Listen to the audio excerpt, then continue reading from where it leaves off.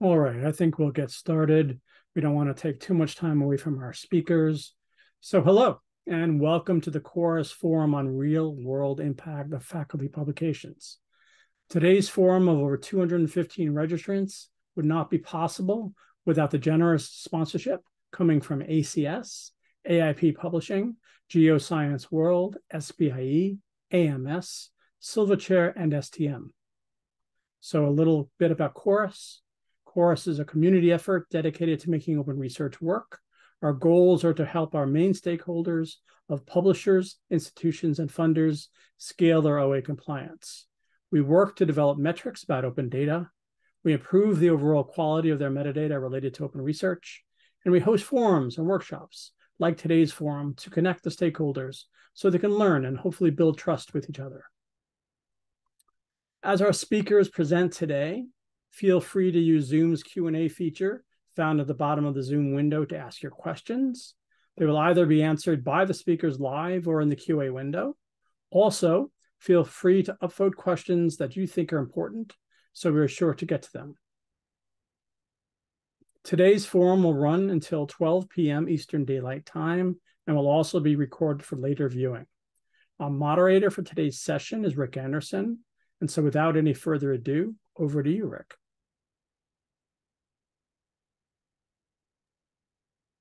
Thanks very much, Howard. Um, this is going to be a great panel discussion today, and I'm excited to be able to introduce to you our three panelists, uh, which I will do very briefly.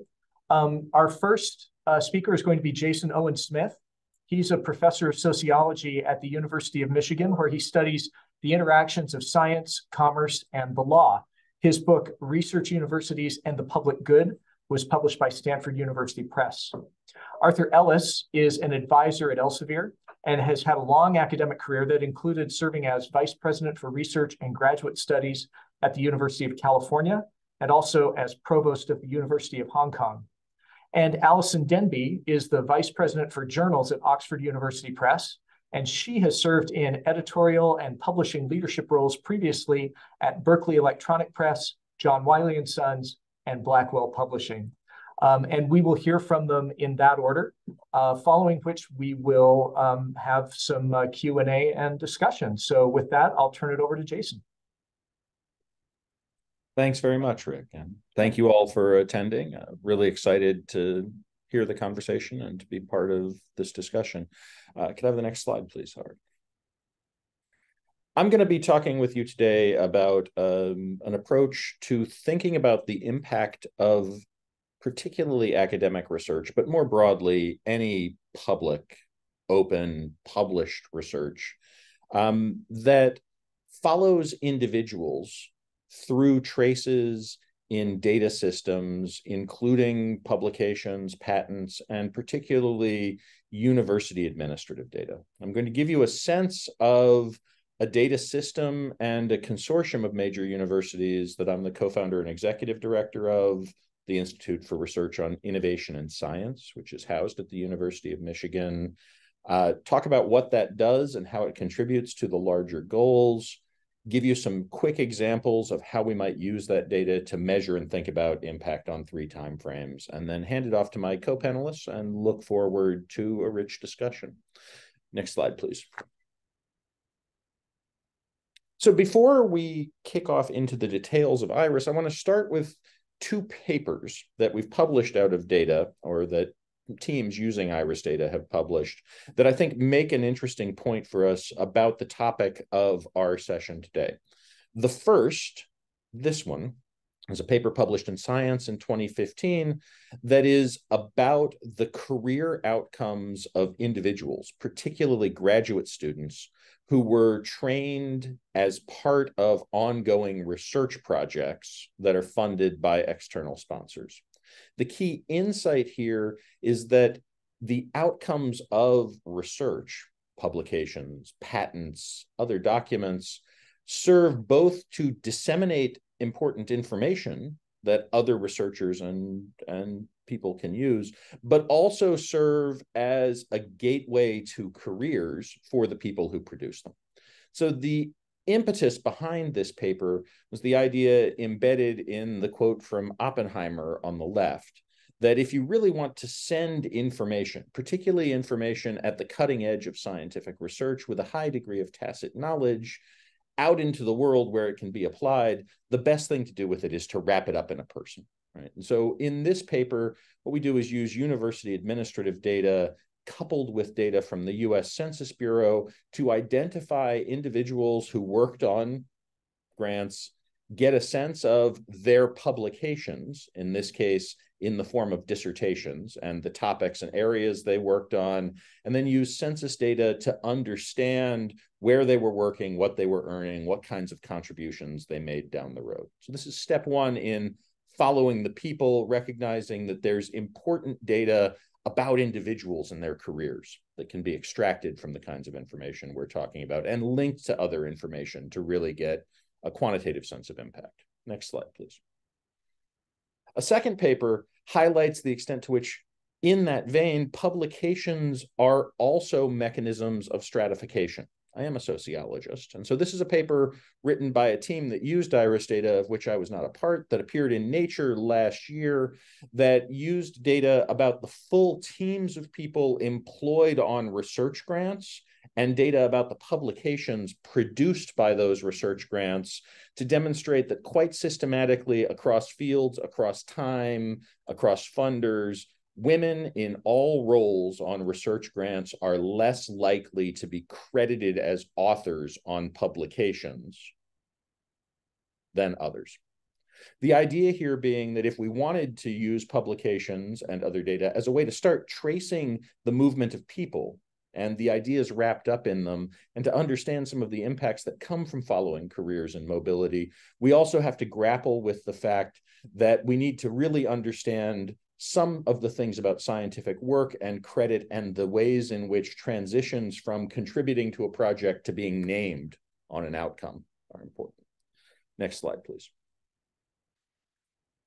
in order to do both of these things and to really pay off what I think is a lot of the promise of new methods, uh, particularly computational and big data, or um, you know, uh, large scale computational methods to understand the impact of research, I think we need to do a little bit of shifting of our level of analysis.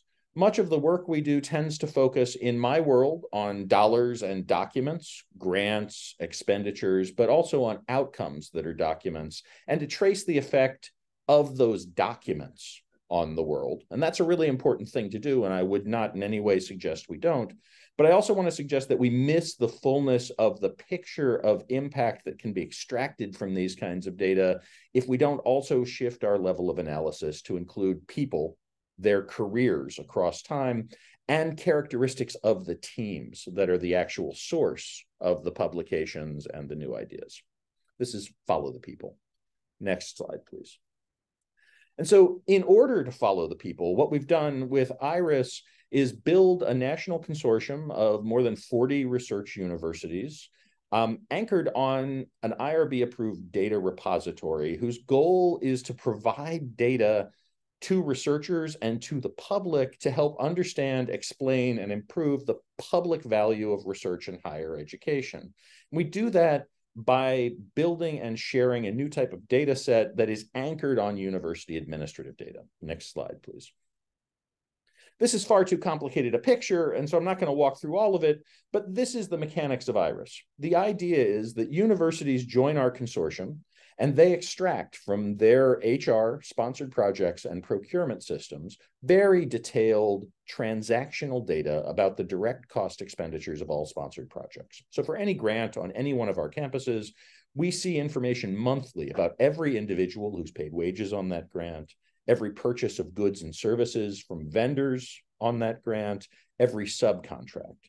We bring those data into IRIS, integrate them, clean them, link them using a variety of techniques, most of them machine learning or AI based, to a variety of data sources, more than 50, including patent and publication outcomes, career outcomes, business data, dissertations, the works. These data are used in concert with some of our partners, the US Census Bureau and the National Center for Science and Engineering Indicators, to do two things to produce a de identified research release that research users around the country and the world can use to better understand the phenomena of interest and to produce a set of analytic reports and analyses that go back to universities and to other stakeholders to help explain what all this work does to the public and others who ultimately are among our key funders and stakeholders. Next slide, please. The UMetrics data set itself has been used by more than 500 researchers from about 150 institutions, and this is just to give you a sense of scale. These data include information about more than 500,000 sponsored projects that cover about $127 billion of spending, and that include information about more than 860,000 people who worked on these research grants and who we make linkages for to understand both their mobility and their contributions and credit on things like the publications that are the results of scientific work. Next slide, please. The idea, and this is drawn from the book that Rick mentioned, is that this kind of data allows us to start to think about impact on three time frames, in part by following the people. In the short term, research funding and the work of academic research has an impact because grants allow investigators to hire the people and buy the stuff necessary to get research done. They create economic stimulus, and we can see that through vendor data.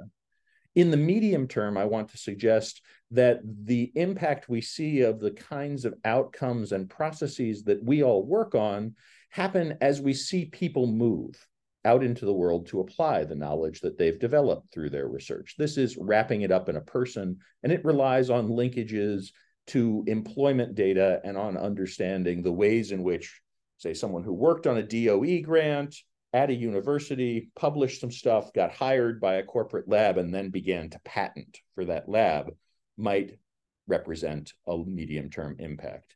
And in the long term, I think this is entrepreneurship and the development of work out of new findings. This gives us a way to think about how new discoveries that are embedded in things like patents and publications can become the seeds for whole new industries, new technologies, economic dynamism. Next slide, please. In the short term, some of the kinds of reports we produce focus very heavily on vendors. The question is when money flows into, for instance, the University of Michigan from the federal government, it doesn't just stay on campus, it goes out to buy goods and services from vendors around the state and around the country. And that allows us to talk in very real and very concrete terms and to report on the ways in which the research mission of universities in states also stimulates and supports a state economy that is anchored on a research supply chain. Next slide, please.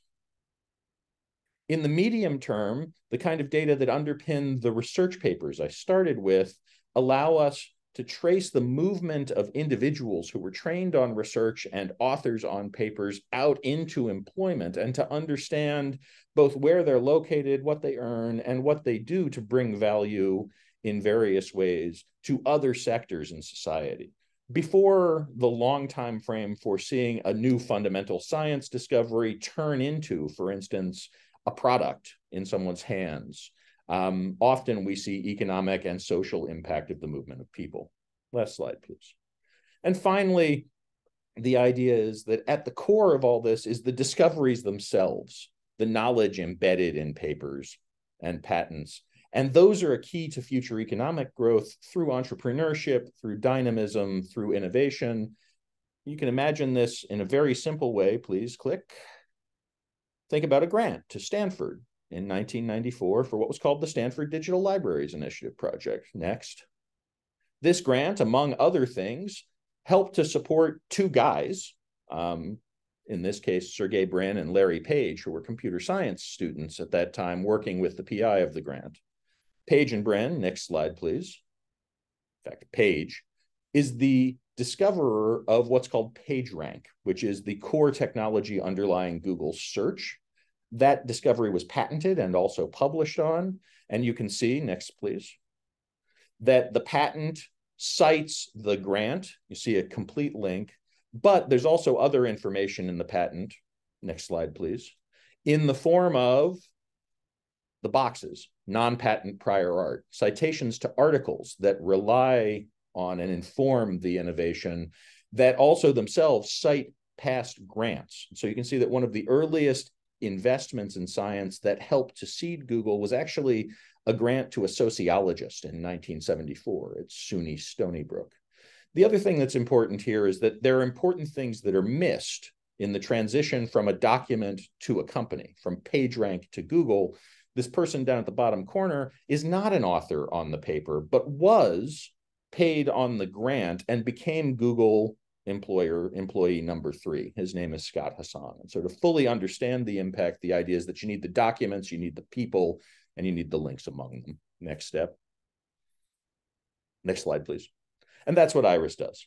This is the basic information about Iris. If you're interested in learning more, please feel free to reach out and I'll turn it over for questions. Thank you.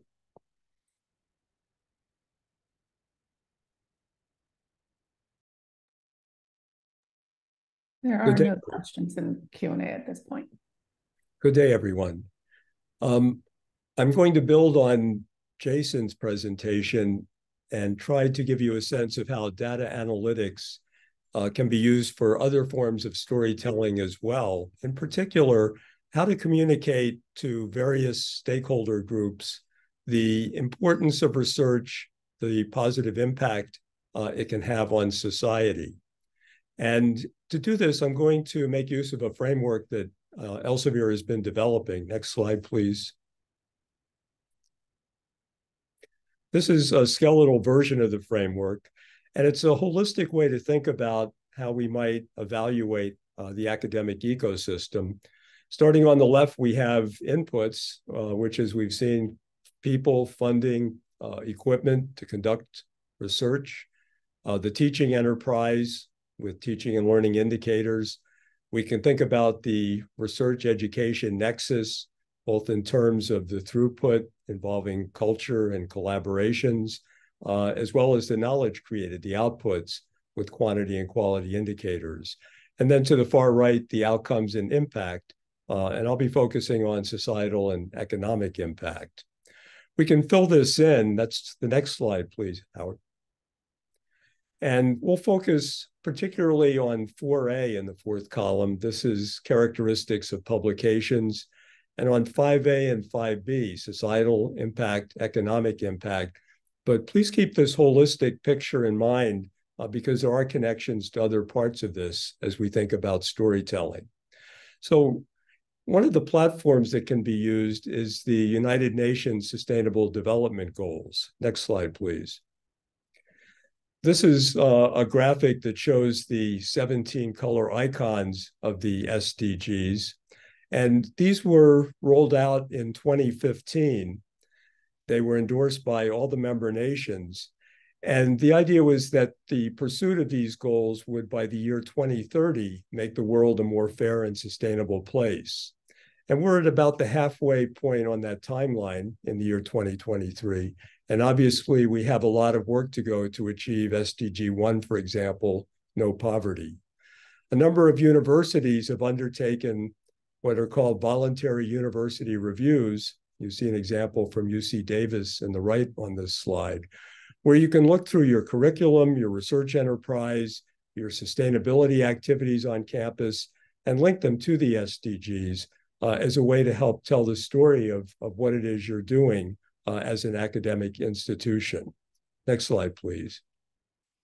I thought I'd present a use case involving publications um, that uh, was done with the help of a number of historically Black colleges and universities to help tell their story.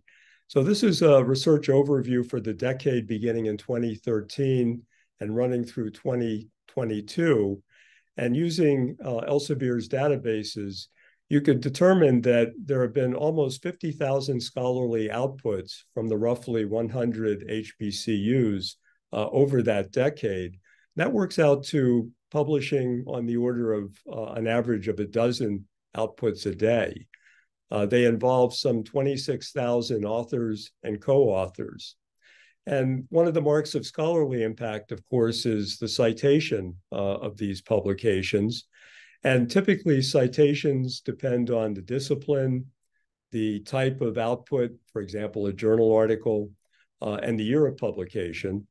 And for the distribution of scholarly disciplines that you see in the HBCU output portfolio over this period, you can use that data to calculate uh, an estimate of the number of citations you would expect. And relative to that value, which could be set at one, the value you see in the upper right of 1.35 for field weighted citation means that the HBCUs collectively published and received 35% more citations uh, than would you expect from the global average. So that's the citation impact part of this. Um, there's even more to this good story, though, which is that the majority of these publications uh, can be mapped to one or more of the SDGs. Next slide, please. So what's shown here is the relative contribution of the HBCUs uh, over this period of a decade uh, in each of the SDGs that are shown. And that's compared to the US portfolio as a whole. So, for example, for SDG 1, you could look at the percentage in the US portfolio that mapped to that uh, and set it at one. And similarly for SDGs 2 through 16. Uh, and so that's the horizontal dashed line for ease of comparison that runs across the slide. And then looking at the bar graphs, the you see you can see that uh, relative to the U.S. average, most of the uh, SDGs have larger values. And what that means is that there's a larger percentage in the HBCU portfolio of contributions to those SDGs. In fact, for a trio of them, SDG 2, which is zero hunger, SDG 4, which is quality education, SDG 10, which is reduced inequality, uh, it's almost double the percentage in the portfolio that you find for the US value. Next slide, please. Furthermore, it's possible now to link patents to the SDGs. Uh, this is data spanning a decade for the City University of New York, uh, the CUNY system. And the circumference of this circle are the SDGs with their color coding. And the wedges that you see are proportional in size to the numbers of, of patent families in the portfolio. The largest one that you see in brown connects with SDG 12, that's responsible consumption and production. Uh, but again, this is another way to demonstrate the connectivity uh, between a kind of publication, the patent, uh, and societal impact potentially. Next slide, please. Another mechanism for demonstrating societal impact is to scrape policy documents for citations. And this has been done in this slide for the University of Glasgow research over the period of a decade. And you can see that uh, in the column under policies, there are actually several thousand citations to University of Glasgow research. And the policy bodies include, for example, the clinical guidelines in PubMed Central, uh, World Health Organization documents, uh, OECD, and, and so forth. So this is another example of where uh, published material uh, can have significant societal impact in influencing policy in this case. Next slide, please. This is really uh, a mechanism that is ongoing Last year uh, in US, in the US, the Chips and Science Act uh, of 2022 was signed into law. It identifies 10 key technology areas that are listed here, artificial intelligence, cybersecurity, biotech, for example. And another uh, element of the Chips and Science Act is that it created a new directorate within the National Science Foundation called TIP. That's on the next slide, please. So TIP stands for Technology, Innovation, and Partnerships. And this directorate is focused on promoting translational research and use-inspired research. And its signature program is called Regional Innovation Engines, or Engines for short. And what the directorate did was in soliciting proposals, they initially asked for a very brief concept outline that was publicly posted uh, with the intent of attracting others to join these projects. And what we did was we were able to look at the 700, nearly 700 concept outlines that were posted and determine that about two thirds of them could be mapped to one or more of the SDGs. And that mapping is shown at the in the bar chart on the left. you can see that almost all the SDGs uh, are represented. Uh, the largest number are, are associated with SDG 9, which is industry, innovation, and infrastructure. Next slide, please. And you can see that uh, as the first set of awards have been made, uh, they occur throughout the US. And the intent of these awards, as the name implies, is to really try to establish innovation ecosystems across the entire country. And to the right, you'll see headings that are those 10 key technology areas. And the blue squares that you see beneath each of them, each corresponds to one of the awards that's expected to make contributions to that key technology area. And so these are leading indicators of where we can expect to see in the future publications, patents, uh, citations, and policy documents going forward. Next slide, please. Another project that I'd like to briefly describe is one that um, Elsevier is doing with Cornell. Uh, the question we're addressing there is what kinds of relationships exist across grant awards, publications, patents, uh, and commercialization in the form of licenses uh, and startups. And it turns out that there's a common taxonomy using what are called topic clusters that enable you to connect all of these. And a way to represent the uh, outputs of, of this kind of connectivity is shown on the next slide. And these are uh, just the topic clusters that are shown for linking. I think we have a, a sequence. If you want to go to the next slide, please. There you go. So we're able to do a kind of forecasting as shown on this slide as we fill it in. Next slide, please. There we go. So the bubbles that you see here represent patenting activity, and they're color-coded. So all of the patents of uh, a particular color correspond to a subfield. If the field is chemistry, a subfield might be organic chemistry. Another subfield might be spectroscopy. The size of the bubble corresponds to the numbers of uh, patent families associated with that subfield. The horizontal position corresponds to the funding that's been received by the campus for that subfield. And the vertical position corresponds to the number of publications uh, corresponding to that subfield. You can then combine this with commercialization data for the campus, the licenses, uh, and the startups to really have a fairly detailed picture of where commercialization is taking place. And that allows you to investigate how it might be enhanced, what kinds of barriers might exist, for example, and really provide a more informed view of commercialization activity and how it might be grown on a particular campus. Next slide, please. Next slide. This is uh, just to thank my uh, colleagues who contributed to this call, uh, to this presentation at Elsevier and Cornell. And uh, beyond our Q&A session, if you have questions or would like additional information, please feel free to reach out to me. Uh, my email address is shown. Thank you.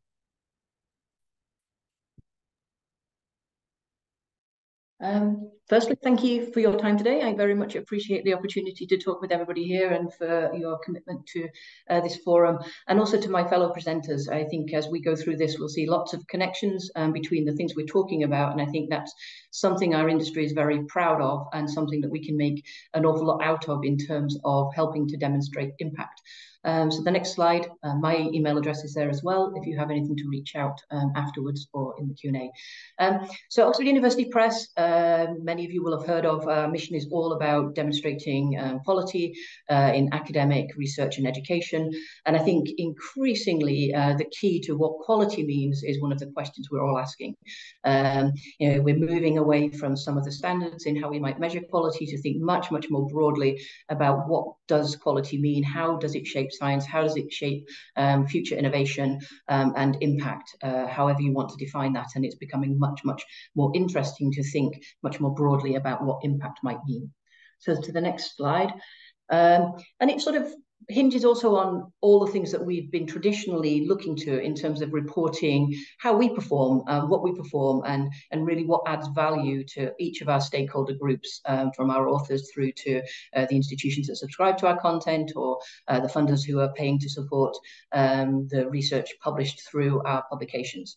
Uh, we've had a very traditional way of measuring a lot of the things that we've done, uh, one-to-one -one reporting landscape, but now with the changing business models we're seeing, but I think also all of this data, all of the persistent identifiers, all of the different um, context we can bring uh, around uh, the impact of content um, is going to change things quite dramatically over time and change things in a good way so that we can really see uh, build from um, content as published in an iterative way uh, as we gradually uh, build on what we know and how we improve what we know uh, for the greater good um, more broadly in research and education. So to the next slide. So we've been sort of thinking um, initially really to how to how could we start to demonstrate some of this impact and value? What matters to the people who uh, we're working with? What matters to our authors? What matters to the many societies we work with? Um, OUP represents uh, the journals of about 300 different academic societies. And what matters in different diverse communities? Um, something that matters in in mathematics for example and the impact of a mathematics paper is very different to something in life sciences um, similarly from humanities all the way through to clinical medicine there's very different measures um, there's different ways to look at how um, what we're publishing um, improves uh, research overall. Uh, so we've been thinking about the key things that publishers help to do in this world. So my, my presentation is a little narrower than um, Arthur's and Jason's, thinking very much in, in a sort of publication output and how do we demonstrate the impact of what we're doing to publish the content that is um, produced uh, in our journals. And we need to do that because we need to show that we're helping to support um, that content, we're helping to improve it, and we're adding value. Um, we also want to make sure that we protect research integrity. As we all know, um, it's becoming ever challenging to make sure that uh, the materials that we're using and relying on um, come from a sound basis um, and have uh, very strong, can be trusted uh, for their uh, data and all the uh, underpinning uh, work that's gone into them we want to make sure that uh, we, you know we we help authors improve their papers and that they can decide how best to, to promote their work and what that should do and what that should deliver. And to give feedback on uh, to our author community about how what they publish with us is making a difference. Um, for us, obviously, there's a sustainability question here, and that's not just for us, but again for our societies.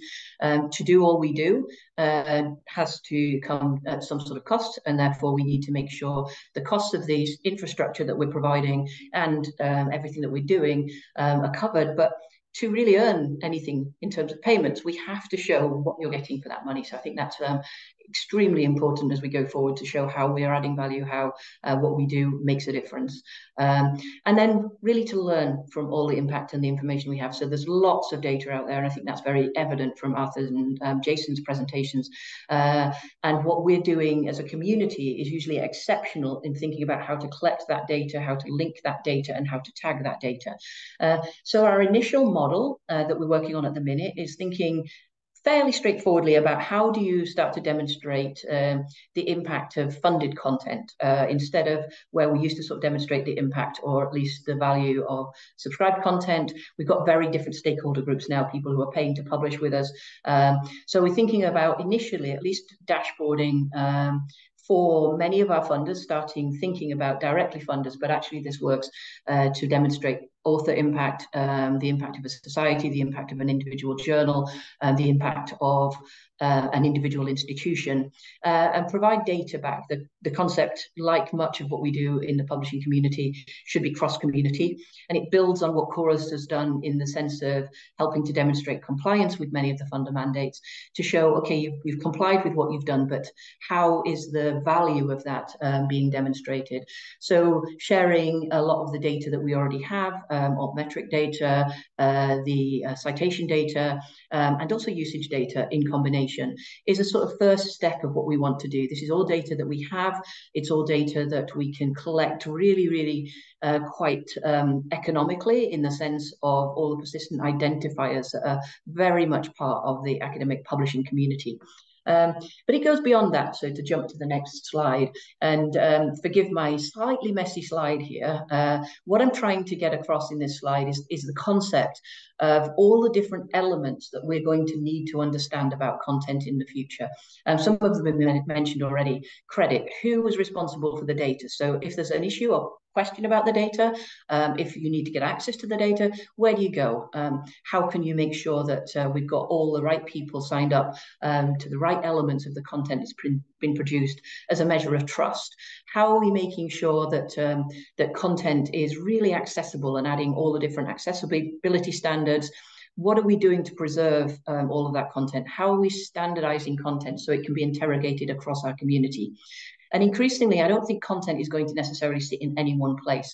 It will be about all the different persistent identifiers and the metrics that surround that content that help you to understand whatever your position or your stakeholder position, um, how that content is delivering a difference and making a difference, and what to invest in in the future. So, where should we be focusing uh, future research? Where can we build upon research that's already happened? But you know, going back to that that point of really being able to trust what we're reading and, and understand it, um, and also really understanding the uh, research integrity right the way through the process. So, from um, making sure that everything is in place as a as content is developed and improved through the peer review process, um, to the corrections and retraction process to ensure that uh, if there are problems or if science changes, we make sure that content is useful and up to date, or at least uh, we know where it sits in the continuum of that sort of research um, improvement journey uh, as we iteratively develop content. So we're looking at thinking about dashboards more broadly um, that will pull using all of these different uh, identifiers, these different links, all the data that you've heard from from, from my colleagues um, in a central sort of way so that you can start to look at uh, the impact of any individual faculty member or um, a single grant um, going right from its beginning, its inception, all the way through, uh, say, patent or policy influence. So this is the concept that we're working on um, at the moment and starting really just looking at um, some basic data that we already have, but uh, with an ambition to become much more broad in terms of helping to improve science uh, iteratively. And I say science um, in, in the broadest sense, so from humanities again through clinical medicine, all the types of research content um, that is published. Uh, so that just gives you a sense of what we're doing. Um, and longer term, going to the next slide, I think it's going to be really important. And this goes back to a lot of you, what you've just heard earlier about thinking about how um, we really improve the data and our understanding of demographics. Uh, you know, that point about um, women not always being um, recognized in terms of, of authors.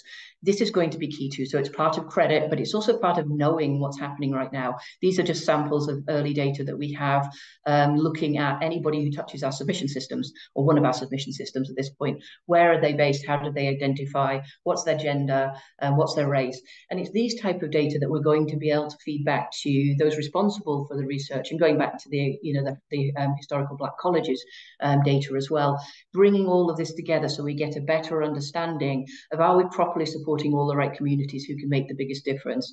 Um, how are we training the researcher of the future? How are we helping to support people understand um, uh, how to do peer review? So similarly, looking at the readers on our sites as um, a prop uh, a demographic that we should be seeing reflected in our authors um, and our editors uh, longer term. Um, so there's a lot of data around and out there that we're thinking about how do we connect it? Um, what do we do uh, as publishers, which we do quite well in general in terms of working to consistent standards across our community uh, to make useful data to help informed decisions about uh, future investment in the improvement of research. So that was basically what, where we're at at the moment. Um, we're in a trial on the next slide uh, towards the end of this year to get some, some very basic dashboards, but uh, uh, we want to move into something much more sophisticated over time and work across the community to deliver something that's useful and that will help to make a difference in advancing research and education. So that was it from me, and I'm going to hand over to Rick, who I think is going to facilitate our Q&A. Thanks very much uh, to all three of you. Those were fascinating uh, presentations, and um, we do have uh, we have one question right now in the in the Q and A uh, from Anna Wetterberg, and her question is, "What type?" Uh, and this is I think uh, is directed to Arthur. What types of organizations are included in Elsevier's quote policy bodies? Um, are those government organizations only? Are they policy-oriented think tanks? And are they uh, global or only located in some countries and regions? Are Sure. This is um, information that that is acquired globally. Uh, we work um, through Overton um, and their database to collect this information, and so it's it's really a wide range of um, organizations. Sometimes it's um, the government of another country, um, but if you actually go through um, a, a, query and and uh, see what comes up, it's kind of the spread that you saw on that slide, uh, where it, it it really covers the waterfront in a lot of ways. I I think probably um, in terms of refinements, being able to get to more regional and local levels is something that uh, may be missed in some of the uh, some of the queries, uh, and is certainly worth working toward because oftentimes, of course, local policies can be extremely important as well. Excellent, thanks. Um, I had I had a question, but mine was also um, mine was also directed to Elsevier. So what I wanted to do was ask if any of our panelists has a, a question for any of the others,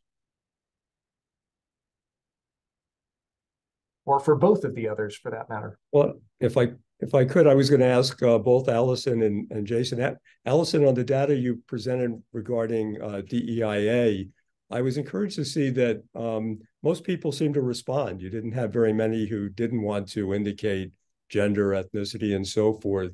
Um, that's that's encouraging, and I'm wondering if either or both of you could speak to that. Is is that a trend that we're moving in in terms of people's being willing to reveal more about themselves? I, well, I think so. Um, I mean, I think one, we have to thank Elsevier, who really did a lot of research in the first place to uh, structure the questions around this using um, sociologists, again, uh, to think about how to get an optimized responses. So I think that's, and again, it goes back to the idea that we're um, consistently collecting across the industry the answers to the same questions using the same um, schema. Um, but yeah, we, we have certainly seen uh, a lot of uh, very, very high response rates and a willingness to respond. Obviously, this is dependent on us using that information um, appropriately and protecting um, privacy, uh, which is also very important to us as an industry. I don't know if Jason had anything to add there. Yeah, I mean, I I will add um, a plus one on the the privacy protection, something I didn't dig into in great detail in thinking about Iris particularly, but it sounds like for both of your data systems as well, getting the privacy security sort of risk versus benefit of data sharing trade-offs right for particular communities um, and with particular communities is absolutely going to be key. This and we spend a lot of time working with our various constituents around what data fields are available for what purposes what levels of aggregation how to use them. Um, there's a great deal i think of public good in being able to really understand both the composition and the gaps in the workforce of people who are producing and working on this new knowledge.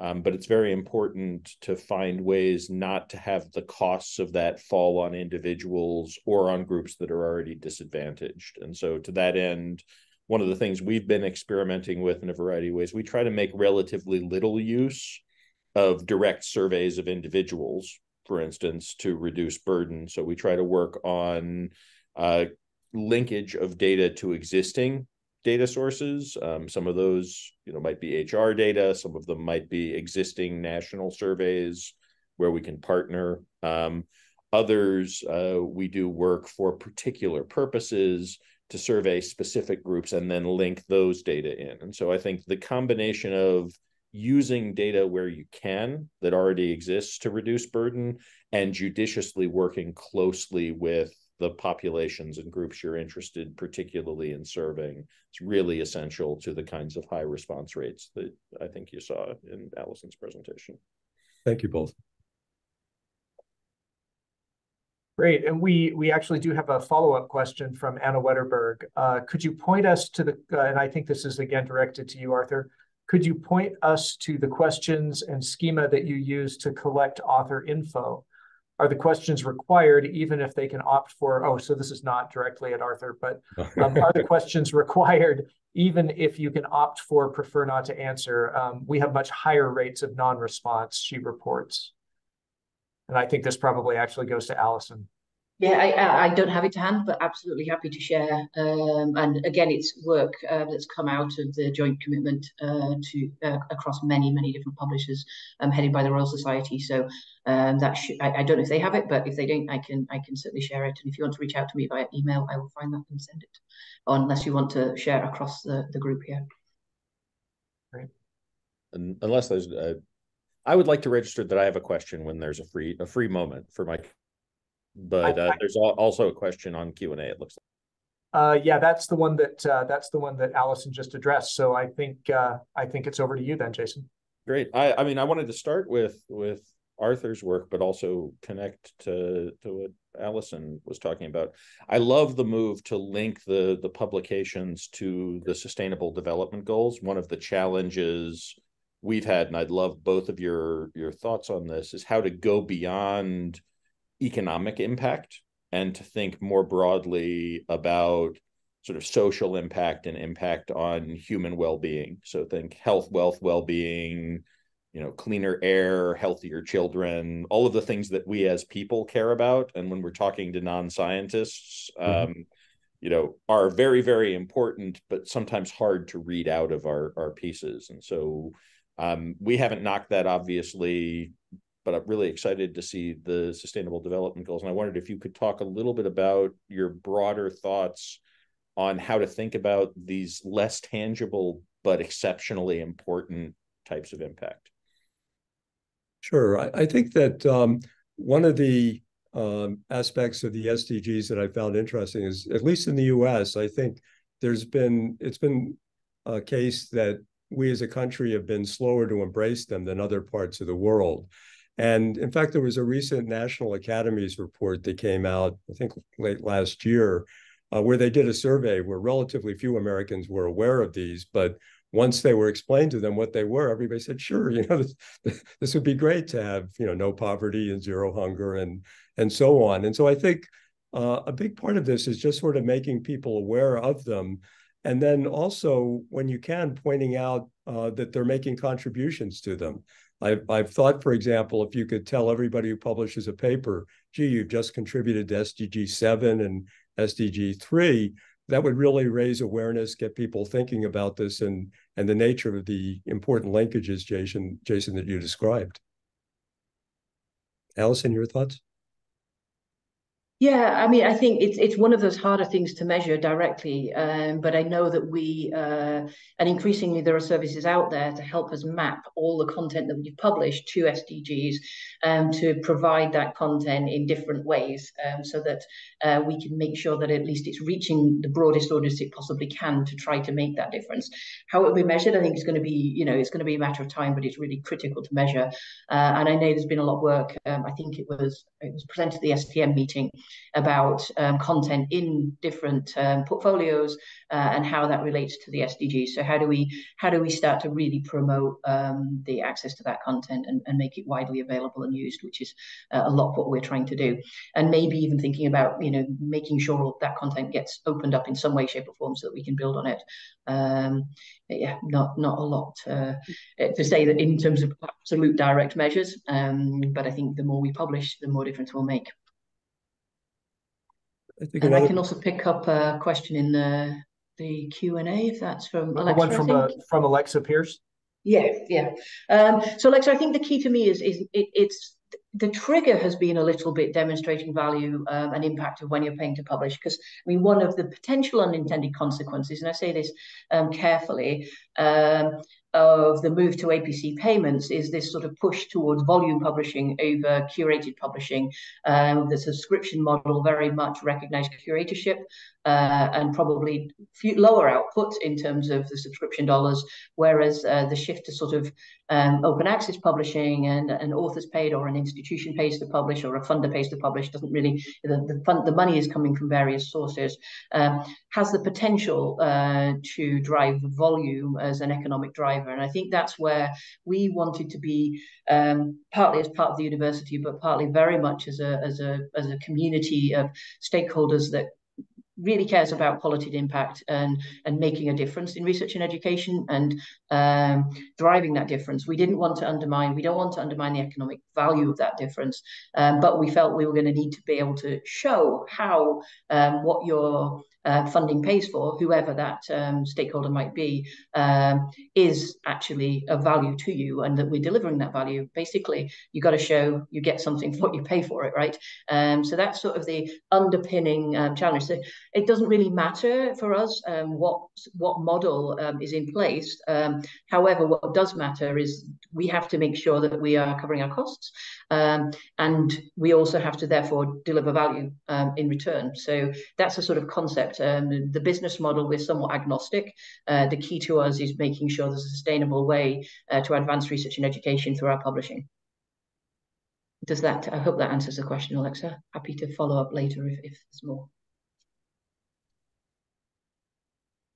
Thanks, Alison. We do. Uh, we have another another question for Anna Wetterberg, and, and I want to register that she's feeling a little self conscious about having asked multiple questions. But we don't we don't have a lot of other questions rolling in, and and I think this is actually a, a really key question. So I do want to throw it out.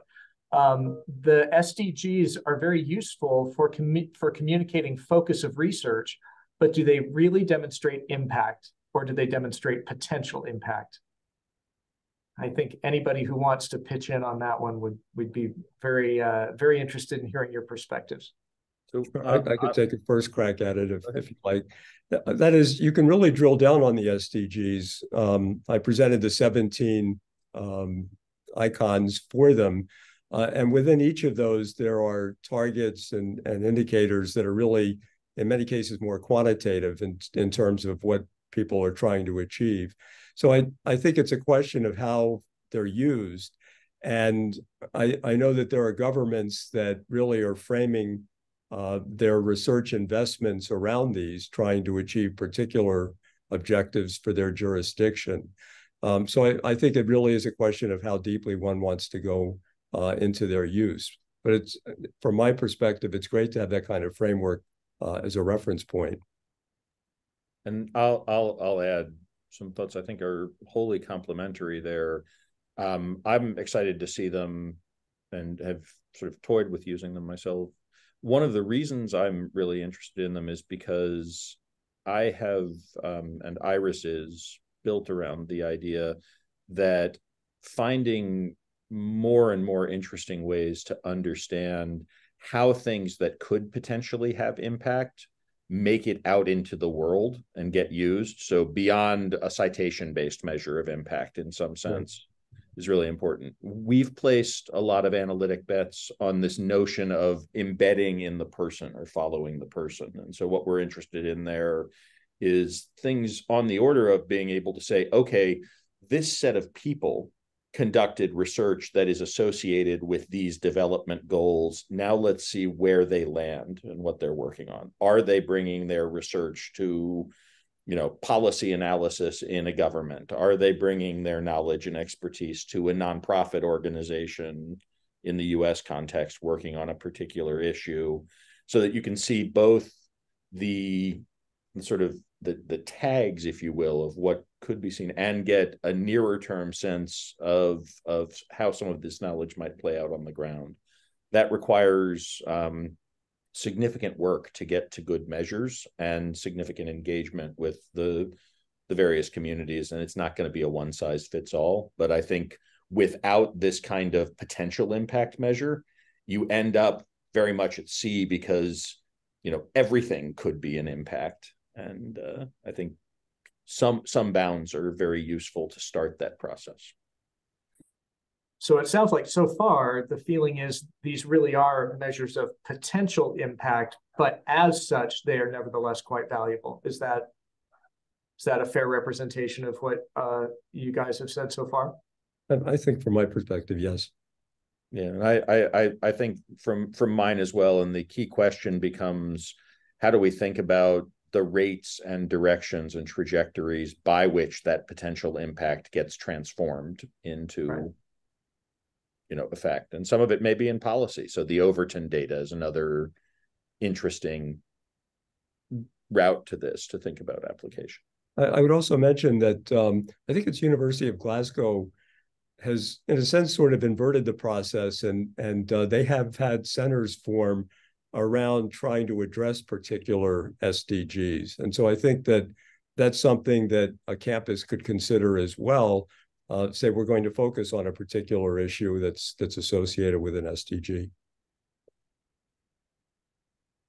So it, it sounds like where where we where we jump from potential impact to actual impact, a lot of that is it's to some degree inferential, right? I mean, we see we see that research is cited in a UN report or whatever, and assume that it since it was cited, it likely had some effect on the outcome of the report or the decision.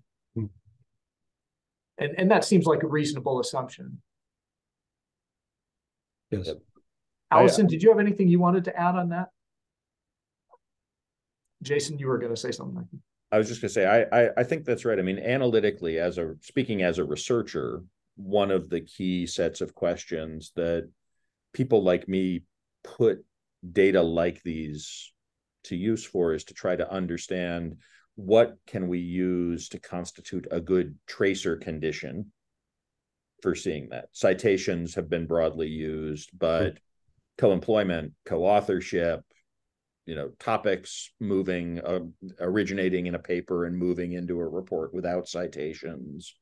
Um, there are a wide range of of of things and they vary depending on the substantive kind of impact you're looking on but focusing on that tracer how these things move and particularly yeah. how they move across sectors and across if you will domains of presentation i think is one of the key analytic challenges Excellent. Well, with with that, we seem to be out of audience questions, and I think we are also just about out of time. Um, Howard, did you want to wrap up? Yeah, um, that's been an amazing session. Lots of great questions from both the, the panel as well as from our attendees. So much to think about. So, first of all, huge thank you to all of you who, have uh, been speaking with us today, and also a big thank you to our sponsors, ACS, AIP Publishing, Geoscience World, SPIE, AMS, Silverchair, and STM. We hope that you found this session very interesting and informative, and we're going to share the video and presentations in a few days. Uh, there will always be more Chorus events coming this year and next year, which you can see on our events. Uh, enjoy the rest of your week. And again, big thank you to everyone.